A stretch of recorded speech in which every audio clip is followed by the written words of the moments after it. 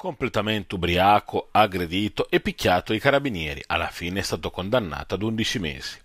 E quanto accaduto sabato sera in un bar nella prima periferia di Umbertide, dove un trentottenne di origine albanese ma residente nel comune umbro aveva iniziato a infastidire alcuni clienti. Così sono stati chiamati i carabinieri.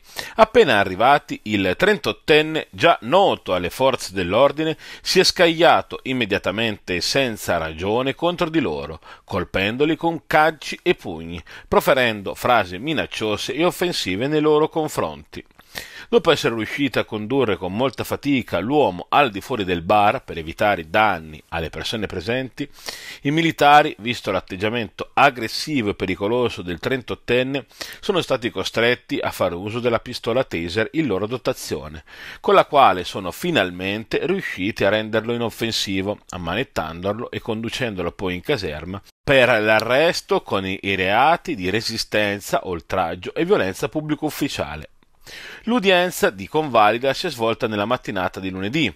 L'arresto è stato convalidato dal giudice, il trentottenne ha patteggiato 11 mesi di reclusione, pena sospesa.